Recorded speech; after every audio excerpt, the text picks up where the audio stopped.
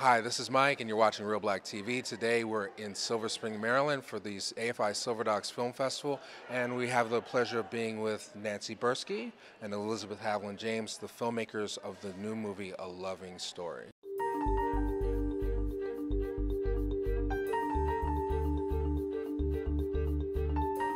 I didn't know there was a law against it.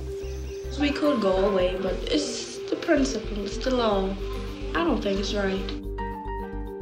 The Loving Story is a story of an interracial couple who married in the late 50s in Virginia. Um, they were promptly arrested for the crime of falling in love and getting married and exiled from the state for 25 years. They lived in Washington, D.C. for a while, but the civil rights movement was really getting going, and they realized that maybe it might help them be able to return to Virginia where their family was. Um, they were not activists, but they desperately wanted to go home and live with their family in Virginia. So they appealed to the ACLU. They took on their case. Eventually, it went to the Supreme Court, and the Supreme Court ruling, which happened on June 12, 1967, overturned all the anti miscegenation rulings in the country. Yeah, I mean, it's. I thought it was an amazing film. We had a chance to see it yesterday. It'll also be on HBO, so everybody can have a chance to check it out. But what what was really impressed me about the film is talks about something that was over 40 years ago, but the the judgment also could probably apply to like gay marriage and other other unions that are they're coming up in, into our 21st century. Um, what what inspired you to want to tell this story? Mildred died in 2008, May 2008, and I read her obituary and I realized that I had never seen a film on her, nor had I seen a film on miscegenation, um, which is the term that's used to refer to interracial marriage. Um, it felt like a huge oversight. Um, other people had dealt with this story, usually in law schools, um, but there wasn't a lot of information about the couple themselves, and I felt like this was a chance to make their story human. There's some amazing interviews and also some amazing archival footage. Can you talk about the use of archival in your film and, and, and how, how you came across it? Well, we had the amazing good fortune of inheriting footage from a filmmaker who shot with the Lovings in the 60s. Her name was Hope Ryden. She spent several days with the family and with the attorneys. Subsequently, she intended to make a film, but it never happened, and so when we uncovered the footage, we really knew that there was a beautiful, amazing story that we were going to be able to carve out of her material.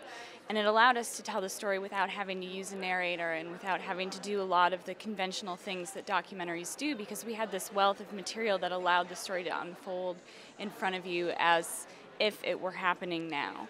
So uh, we were really very blessed to have access to that material? It, it allowed us to develop characters in a way that you often don't see in documentary. These people speak for themselves in this film. And so you follow their story um, very much like a narrative. Um, and you kind of, it, it, does almost feel like a fiction film the way you have your story arc beginning, middle, and end. Um, and it unfolds in a way that you just don't normally see in documentary. We are very excited about having that opportunity to immerse people in their experience. I mean, do you feel like that's the key? Like, could you have made the film without this? Or? You know, I didn't have the footage when I first started the film, and I started. I knew I, it was going to rely on footage if I could find it and photographs, um, but I did sense that I might have to rely on a narrator. Um, once we discovered this footage and realized how much there was of them that had never been seen before, by the way, um, it became a very different film. So, final thoughts. I mean, what what do you hope people take away from the loving story, and where can we see it? Well, we're playing here at Silver Docs now. Uh, we have a long festival run leading up to our broadcast, which will be in February 2012 on HBO. Subsequent to that, it will be available for home video and educational purposes. We um, hope to do a lot of outreach screenings in the South in communities that have been affected by civil rights change and work with reconciliation groups and others to make sure that the film gets to communities that may be underserved by the film world in general. Um, in terms of taking something away, why don't you Take it you away. you know, uh, what Elisabeth said about simple people making a difference, I think, is one of the important lessons in this film. Um, this couple does not fit into the stereotype we usually have of people who change history. Um, and it reminds us that anybody really can do it. Um, it, it also reminds us that love is awfully powerful. Um, it, it, can drive you to do anything just to be able to be with the person you love. So it's, it's a pretty passionate, lovely story about two people who changed history.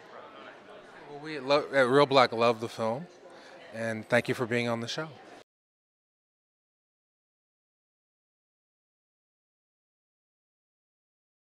My name is Nancy Buirski.